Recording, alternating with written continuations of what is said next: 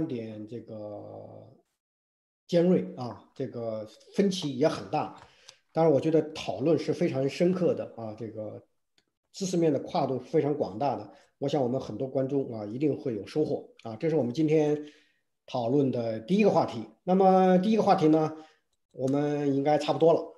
现在我们转向中国国内的政治的一个话题。中国国内政治话题是什么呢？就是习近平搞不定政治服从啊，中共的核心机构呢明定二十个不准。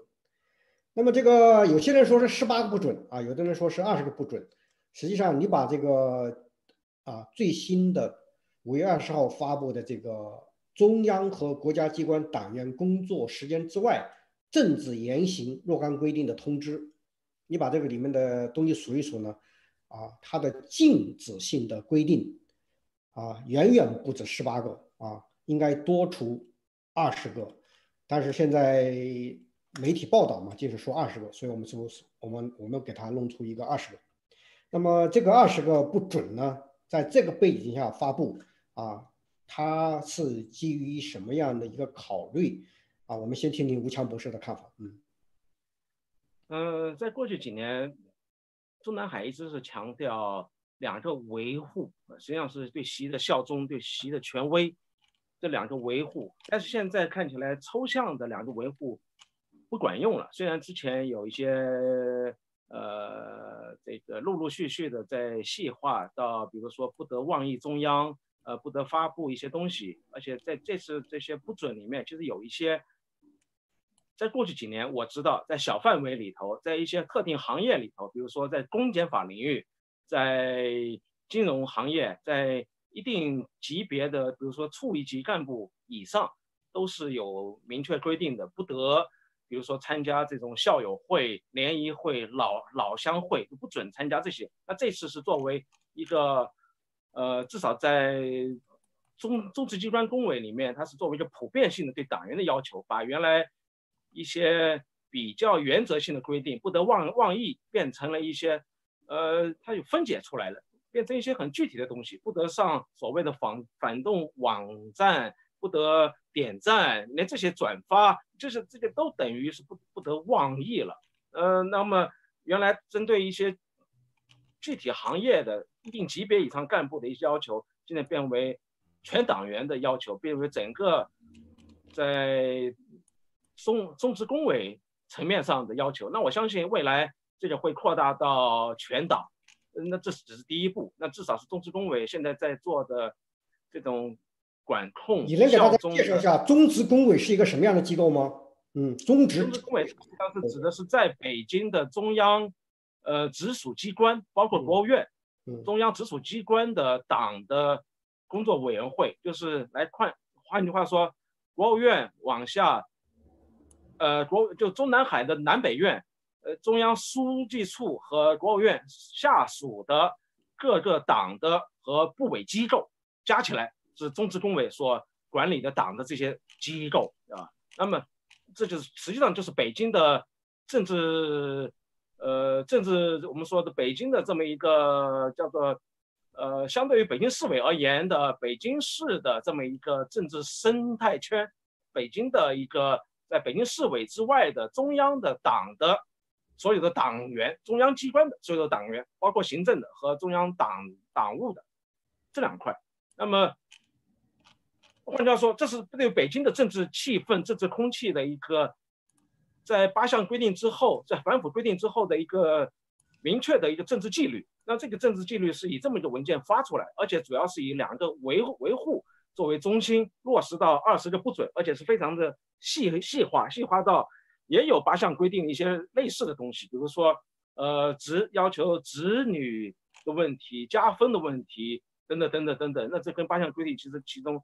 几项是重合的，所以在这意义上讲，这它是原来只是比如说监察委、呃纪检部门在强调这些东西，呃原来只是一些抽象的原则，现在是变成党的机关，呃直接在下发通知，不得不准，十八个不准，二十个不准，那基本上都是针对，其实里面的最关键的，实际上就是不能发表不同声音，这是最关键的，这个是。过去六个月，我们说新冠病毒之后，我们我们说李文亮的案事件之后，说中国不能没有第二种声音。这第二种声音到底是指向是什么？实际上是这个文件所讲的，实际上就是不能有不同声音，一切都要以中央的文件、中央的精神为准。而这个中央指的并不是说习李中央，指的就是习，这是最重要的。包括我们看最近几天，呃，在两会结束之后，对李克强的地摊经济这个事情，像过山车一样反反复复，很快的泼水降温。我相信。这个文件在背后也起了一些作用，就是一切要以老大的精神为准，其他都不。这是我相信所有二十个不准都是在谈这一点。那么这是一个政治纪律，这个政治纪律说实话跟一九七十年代末跟七六年之前的状况是非常的像。呃，当时也有各种各样的类似的具体的规定，呃，不得。很稍微一不小心就会触犯到恶毒攻击上面，稍微一不小心就会违反组组织纪律、违反政治纪律上面。现在的这个实际上是有很像七十年代末、七六年之前的那种，呃，七五年之后、七六年十九月份之前的那么一个一年的那么一个非常诡异的，呃，严格纪律控制的、不准说话的、万马齐喑的状态。现在就是在造成这么一个万马齐喑的状态。好这个谢谢吴强博士啊，开了这么一个场。那么我看的这个二十个规定呢，二十个不准啊，实际上它还有两个不能啊，坚持政治底线不能碰啊，纪律红线不能越啊，实际上是二十个不准加两个不能。那么这个二十个不准呢，涉及到的这个方面呢，一个是这个啊五个方面，一个是呢发表言论要守底线啊，这里头包括。啊，不准散布违背党的路线方针政策的言论，啊，不能搞低级红高级黑，啊，不能接受外国媒体采访，这是第一个犯的最重的，发表言论守底线。第二个呢是网络行为需谨慎。第三呢表里如一见忠诚。第四参加活动讲规矩。第五社会交往有原则。啊，那么在每个下头有那么几个不准。我有感觉，我想问张群先生，就是说习近平啊，现在也是核心了。啊，又是这个一尊了，啊，今天打这个，明天打那个，啊，搞了半天啊，习近平上台已经快多少年了啊，好像这个政治服从的问题就一直没解决啊，这是他的一个最大的一个软肋，一直导致他根本就睡不着觉，所以说才会有这么一个在中央的这样一个核心机关这个层次上要搞这么一个二十不准，两个不能，我想听听张雪先生意见啊，是不是是不是这样？嗯。啊，小平先生，如果让我谈这个问题呢，我可能要多啰嗦两句哈。哦，嗯，嗯，因为这个对这个二十不准的解读啊，我当然我对这个中国国内的政治，我比吴湘博士，甚至比小平博士，你们两个我都是小学生，嗯，我真的是了解的不多。哎，我呢愿意从这个我比较系统的方式进行分析，就是二十个不准到底是什么样的东西，他拿它用来干什么？你你要是有你你你你要是。不同不从整个的一个大的被环境考察呢，那么可能得出不同声音。比如说，你说他现在二十不准里边，刚才小平说这些东西，以前也有过呀，对啊，不能高级红低级黑都有过。那么现在和以前有什么不同？那到底现在是量的提升了，还是质的变化了，对吧？还有呢，就是说，呃，有人说了，你二十不准是因为国际现在环境和天灾，像自然灾害什么这那就造成的，说我们现在要团结，要提高凝聚力。那有的说，甚至说可能是呃，这个增加党党员的连接性等等的，它到底是什么性质？你对它有不同的理解呢？呃，你可能最后得出的结论就不一样，你对它的预测也不一样。叫现在就是它现在处于呃什么样一个阶段？那么它会导致下一步发生什么？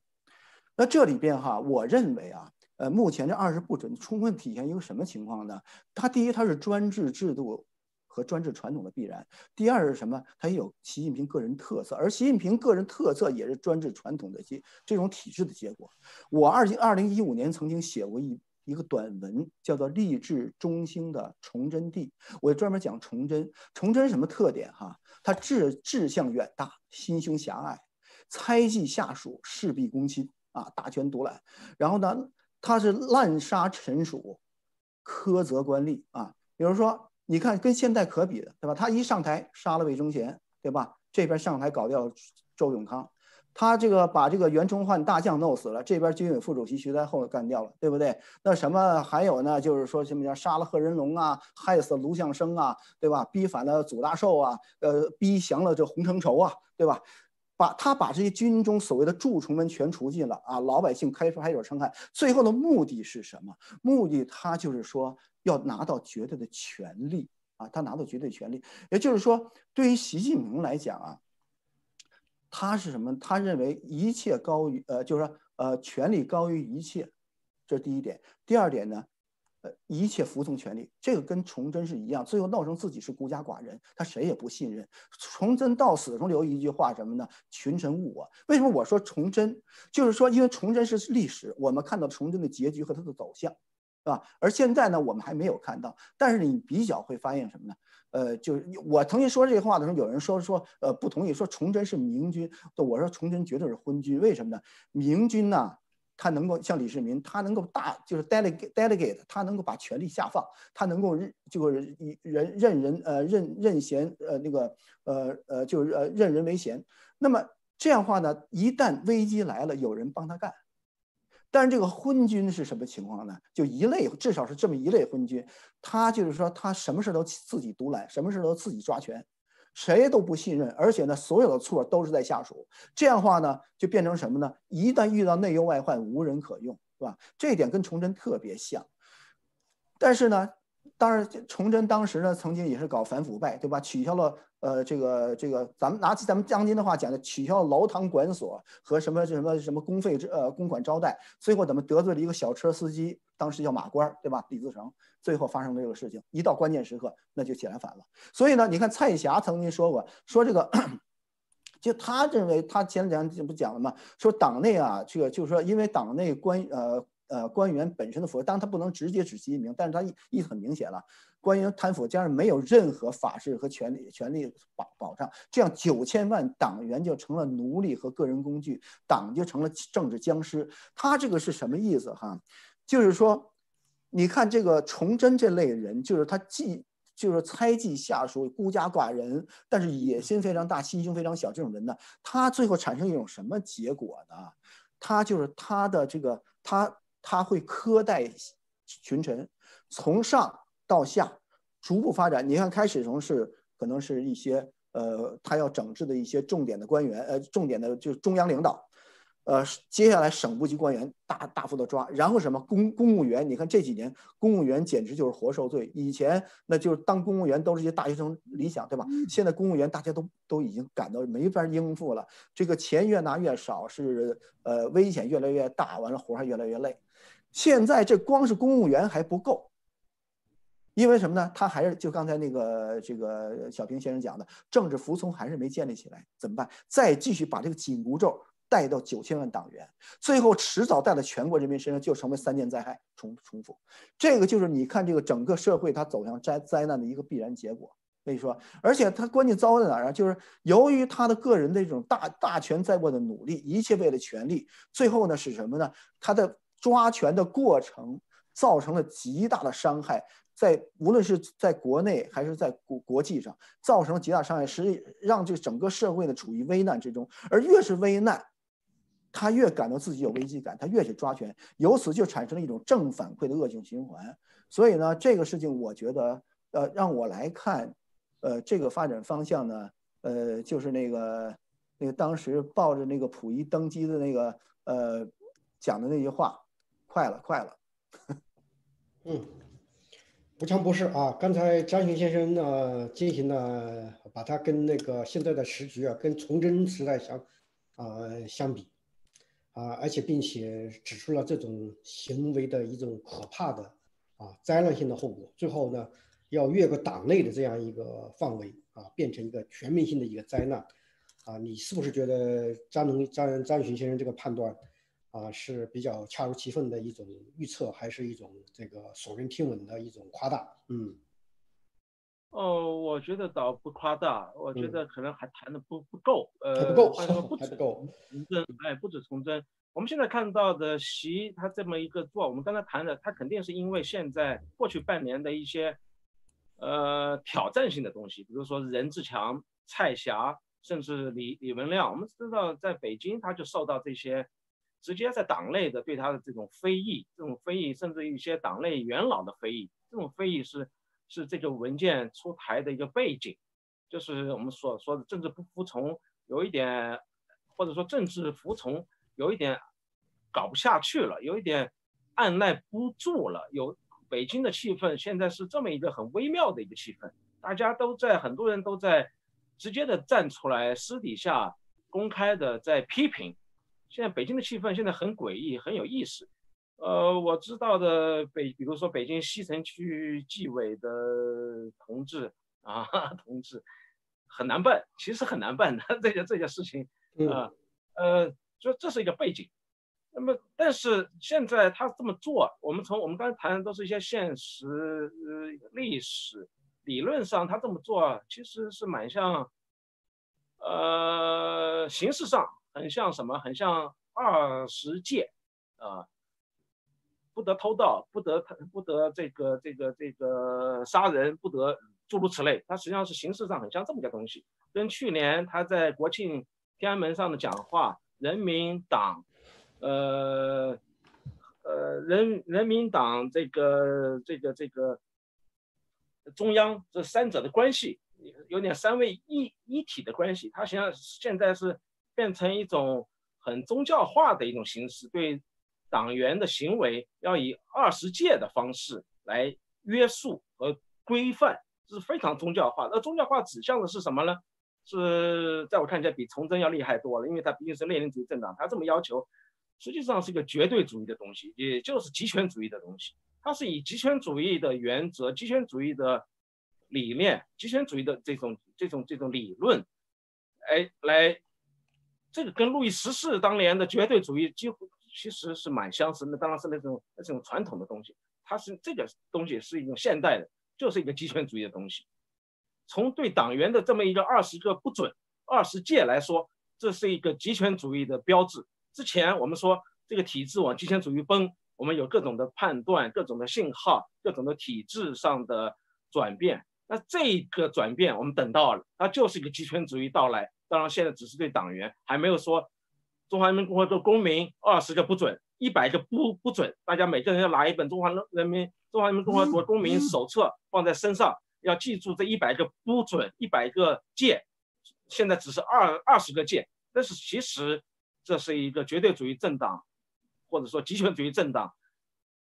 过去还有一些社会民主的一些稍微有一点可能性的一些转向，内部的宽松，呃，几个派系隐隐约约利益集团。但是到现在这一步，他其实不是在一方面，当然是背景是担心政治服从、政治效忠出问题，但是他现在是采取了更强力的措施，不是说对政治不服从的个别人，蔡霞、任志强采取。纪律处分，呃，以儆效尤，而是呢，直接是公布二十个不准，你们谁也不许这么干，这是一个极权主义政党彻底形成、完全形成的一个第一步。哦，嗯，这个张云先生，这个吴强博士提到一个具体的问题，就是这个任志强事件啊，当然最近的这个蔡霞事件啊，对习近平或者是共产党现在这个体制的这个强烈的这种批评啊，那么这种批评呢？代表党内的一种啊批评的声音，对二十个不准出台有一种很大的一个影响啊。你觉得这个背景怎么样？嗯，我同意吴强博士讲的。嗯，呃，因为他现在呢，呃，就是就是索性就采取可能是呃，如果从真的是刚才吴先博士讲，就是从党史的，哪怕从党中国共产党历史上来看，也是一种最集权、最专横的这么一种这种步骤。也就是说，你们我这索性这么一封。而且封的非常具体，甚至封到了麻将桌，你谁也别说话了。我觉得吴先博士讲是对的。好，但是我刚才强调的是说，你要从整个历史的这个循环的这这个角度看，它处于哪个节点，未来会带来什么。我主要这方面提醒大家。好，谢谢两位嘉宾啊，对北京政治事态最新发展的啊分析。这个分析呢，主要集中在中直机关出现的这个二十个不准。啊，它的内容和它的背景的一种分析和讨论。那么，中国研究院呢，今天还有一个话题啊，最后一个话题。那么，那么第二个话题呢，我们的标题就是说，啊，显然中枢有人不服习近平，党中央明定啊，明定二十个不准。那么这个中枢呢，就是指的这个中央和国家机关啊，这个东西啊，应该包括南院和北院。南院和北院，那就是啊，中国共产党的中枢，啊，在中华人民共和国的中枢啊。他们最近呢，在五月二十号呢，发了一个通知啊，全称叫做。中央和国家机关党员工作时间之外，特别注明啊，工作时间之外，政治言行若干规定啊，实际上这个东西很清楚，它管的是你八个小时之外的言行。所以我想呢，这个鲁难先生啊，也已经啊，应该知道这样一个啊新闻，媒体报道的比较多啊，有的人说他是十八个不准啊，有的说他是十九个不准，有的说是二十个不准，实际上。从不准的内容来说呢，确确实实有二十个，另外还有不能，还有几个不能。因此呢，从它这个禁止性规定来说呢，是远远大于二十个这个数的。所以我想听听啊，鲁难先生你怎么看，在当下这样一个时刻，啊，这个党和国家的中枢机关啊，要发布这么一个如此多的不准的这么一个规定，它说明了什么问题？我觉得我们可以历史来看。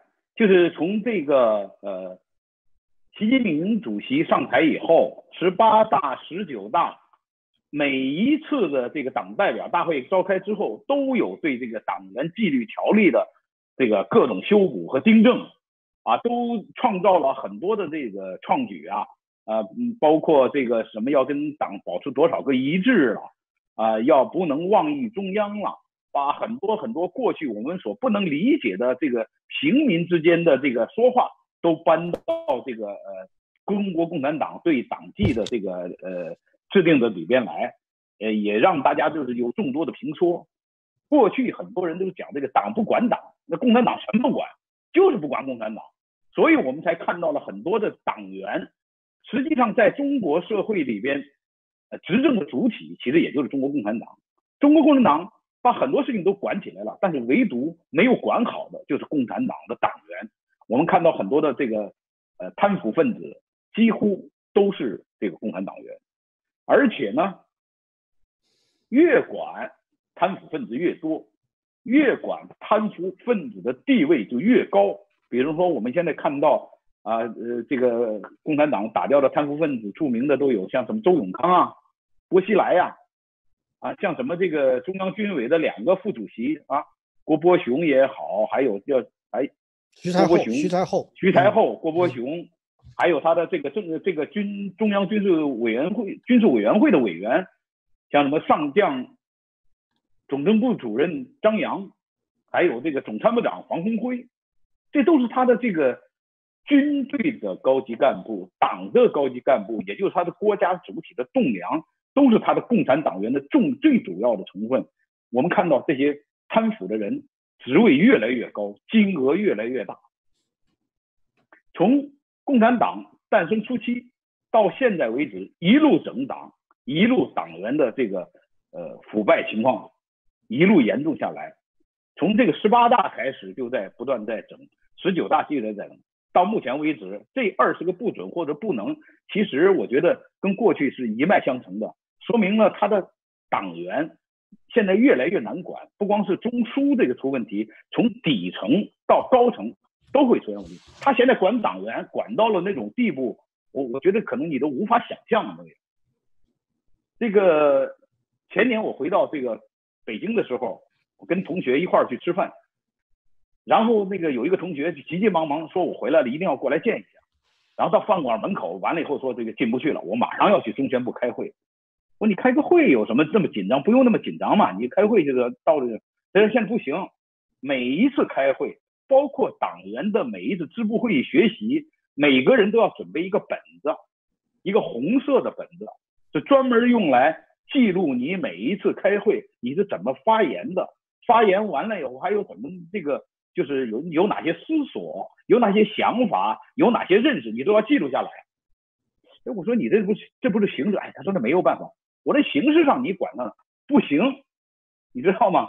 还专门有人来检查你的笔记和日记，每天来检查。我说这都两年前的事儿了，他现在管党员已经管到这种地步，就是说党员里边这种对他的上司、对他的主管单位，其实都是在一种应付的态度，这是我们过去都知道一种状态。什么党员跟非党员没什么区别，入党不过是为了升官发财而已，是走的这么一条捷径。他的九千万党员里边，抱着上进心、抱着为了实现共产主义的，我们觉得是屈指可数。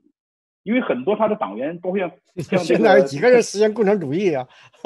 这说白了就老婆孩子、加票子、房子、车子、厨子，很多都是实实在在的要求啊。这个人到死的时候，没有几个听说共产主义奋斗终身的，只是说啊，我的老婆啊。啊，你给我解决一个待遇问题啊！我这是副部级啊，你能不能给我解决部级啊？那这个东西一一般的级别升高的话，你做的那个房子就不一样了，你的待遇就立马就不一样了。现在都是非常实惠的这些东西。那当然了，哎，但是你说到这个现象了以后，他他还有一个现象啊，他每一个入党的人入党的时候都是要举起右手，在党旗下面来宣誓，我愿意为共产主义奋斗终身呐。那还不知道，这东西是这这骗人的敲门砖，现在谁当真啊？嗯，对，所以说就是他现在的问题是从根儿上就出了问题，就是他这个党员的入党的制度、举手宣誓的这些事实本身都是假的。他在入党的时候的这个本身的目的，就是像你说的，为了升官发财嘛，为了把日子过得更好，对吧？所以他导致他很多的贪腐。这个是一种非常正常的一种现象，但是现在这一次，我觉得意义又有所不同。嗯，它的不同点在于说，现在的党内的矛盾、社会的矛盾已经到了一个前所未有的一种地步，就是我们都可以感受到，它现在比过去那种政治上的混乱、对党的要求的各种的混乱啊，现在这种党的这种纪委到处去抓这种贪腐现象啊，反腐。以反腐作为这个习近平主席手里边的强有力的树党工具，啊，他可以把自己意见不同者，凡是胆敢对这个习近平主席有所这个不满或者说是有所不敬的这个人，通通都可以用纪委来罢免，给以反腐的名义来置之死地。那么这是他维持自己政权、维持自己这个地位巩固的一种极端手段。除此之外，他不可能把每一个党员后边都弄一个纪委在后边去跟着，所以，他希望用这个党员的各种各种条款啊、各种纪律、规章制度来限制到每一个党员的这个生生活的甚至思想深处。我们还记得，就前几年这个呃新婚之夜抄党章的这事儿，您您应该还还有印象吧？多了，这个这个很邪乎的，这个新婚之夜抄党章，还有那个喝墨汁的故事广为流传。嗯，是啊，所以说他现在对对对党员，其实现在也就是说，他对九千万党员现在也越来越不信任了。除了社会矛盾在增加，就是群体性的事件，然后不断的，比方说有什么这个拆迁的也好，比方说这个 P to P 的，比如说这个理财各种这个上上当受骗的这些人。那么当然，他这个呃，在疫情中间失掉工作的，或者说是呃，在经济上受到损失的，那么当然这些群众，人民群众是普遍的不满，在党员内部其实也有非常非常多的不满，是吧？这个很多人就说，我这入党如果不是不是为了当官发财，我入党干什么？为什么要入这个党？就像你说的共产主义，他们也看不到。他们也没想看到这个共产主义，也就为了实实在在的，就是捞取一些这个福利。但是现在呢，反腐的这条路子又把他们这个给发财的路子给断掉了。呃，鲁先生，你现在你讲，我需要开一个门啊，我们这有人可能进。没问题，没问题。然后在这个情况下边，作为中国共产党管理自己党员的一种手段，他就会不断的会把党纪去。不断的一次一次的翻新，一次一次的订正下新的内容。那么在这种情况下边，作为党员的这个日子也跟普通百姓一样，也越来越不好过了。那么作为高层的这些政治斗争里边啊，他们这些不断的进行各种的对撞。我们最近可以看到的是，像这个李克强呃总理啊，做了三天的总理。做了三天的热度啊。当然，他第一天讲在这个人大会上讲出来，这个全国有六亿人每个月的收入只有一千块钱的这么一个事实的时候，让很多人感到非常的震惊。当然，也有很多人就马上批评这个李克强总理是不是变成了公知啊？啊，也在去讲述这个，一下把这个二零二零年习近平主席要把这个呃要要进行这个什么小康，要把中国跑步进行小康，然后达到这个发达国家的这种水准。啊，提高人老百姓生活水准的这个中国梦一下打散了。那么在这种情况下边，习近我们看到这个李克强总理他还提出来的这个啊九亿人口如果有工作就是九就是极大的创造力，如果没有工作就是九亿张等着吃饭的嘴。那么他这鼓动的这个地摊经济刚刚火了三天，就被北京。蔡奇书记一一盆冷水就给泼下来，这也是党内的这个矛盾高层的这个对撞之间的一个非常非常典型的一种现象。我觉得，所以他党章里边或者党纪里边现在搞的现在这个二十个条例里边，这个中央工委搞的这个条例里边，让很多党员啊谨思慎行，你的嘴不要去乱讲，你的脚不要乱走，你的手不要乱动。我估计跟这个党员的很多人也有很多的不满，在网络上，在这个媒体上面，在思想上面，跟党中央、跟我们习近平主席不能保持一致，可能也是一个现实的一个很大的问题。所以他出现这个这个党纪不断的在调整，虽然说我们我们可以预计他还会将来的继续的不断的这个深入的去调整下去。很显然就是说，你看那个他这边呢，啊叫做定一尊啊，那边又叫核心啊，那边呢叫无限任期制，都有了啊。宪法也把他名字弄进去了，好像他现在啊说权力超过毛泽东啊，所有人都不在话下。可是呢，你可以看他发的这些东西啊，他好像有对这样一种。普遍的这种不服啊，它显得某种不可奈何奈何的一种感觉，所以说我们的标题就叫做“显然有人啊这个不服嘛，是不是啊？显然有人不服，所以他要发表这么一个规定，这么规定二十个不准，实际上你从他的啊涉及的范围来说，一个是发表言论守底线，这是一部分；第二个部分是这个网络行为需谨慎；第三个是表里如一见忠诚。第四，参加活动讲规矩；五，社会交往有原则，啊，就是涉及到这个五个方面的这个东西。所以说，很多人都涉及到这种对他的口服心不服的这种状况。那习近平也为这个事情可能伤透了脑筋啊！我名义上的权威有了，可是人家心里都不服我啊，是不是有这种担心啊？他担心多了去了，多了去了。对，因为这个我们都知道，这个呃，他是怎么上来的。就是习近平主席，实际上他这个是按照前几代这个书记的呃安排的这个呃团派和红二代隔代传递这么这种途径上来的嘛。就说你你上来之后，下一代的这个呃团派接班的这个路子，他显然把这个就给阻断了。他自己修改了党党章以后，然后修啊不修改宪法以后，就把这个这个任期制无限的往下延长。像你说的这样的，他实际上表面上你看他是把大权在握，实际上自心内心里边发自内心里边，他是有很多很多恐惧的。他也他当然很清楚，他知道大家都不服啊。这些人在周围的哪一个人会服？就是你，你是凭什么上来的？你不过是凭着这个红二代这个身份啊，经过这个原来的传导机制上来了。你上来之后，你就把这条路子给呃把它给掐断了。那么，那么其他的人的这个上行的路的改变命运的这个位置就发生了很大的变化，整个的体制到你这儿，你你的一下全部都阻断了，你改变了所有的规矩，但是你改变的规矩，你的能力从哪里来？谁赋予你的这种权利？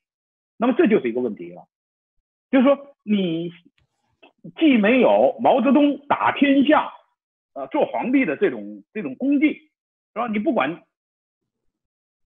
正确与错误，确实毛泽东是占山为王，他是胜利者。